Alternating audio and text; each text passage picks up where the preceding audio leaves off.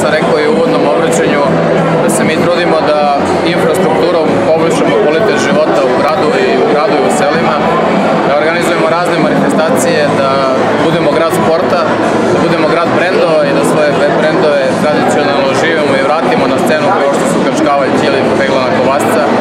Ovde je pre samo 20 dana bio festival Peglane Kovasce, ovde je pre, do pre dva dana bila škola sporta. Evo sad smo ovaj divan prostor pretvorili u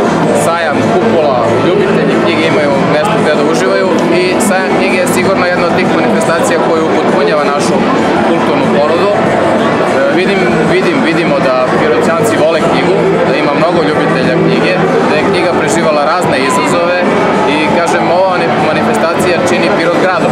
Ako želimo da budemo grad, onda moramo da imamo manifestacije raznorodnog tipa, da imamo manifestacije kulture, da nam živi i bioskop i pozorište i knjige. I kažem, raduje me što ljudi kao što vežbaju sport, vežbaju i čitanje knjiga u biblioteci,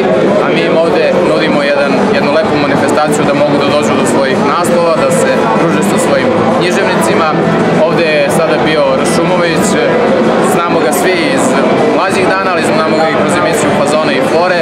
Njegov kolega iz Fazone i Fore, Raša Popov, je takođe bio pre nekim godinu ovde. Imamo priliku da vidimo mnoge umne ljude, kao što je Matija Bečković, kao što su dobitnici Ninovih, Ninove nagrade i tako dalje i tako dalje. Mnogobrne književne večere su takođe jedna vrsta ponude e, koje Pirot organizuje i ja se zahvaljujem zaista i organizatoru, pre svega Domu kulture, ali i biblioteci, sportskom centru koji organizuje ovaj prostor. I mislim da Pirotćanci ne treba da propuste šansu da se bar jednom, ako ne više puta prošetaju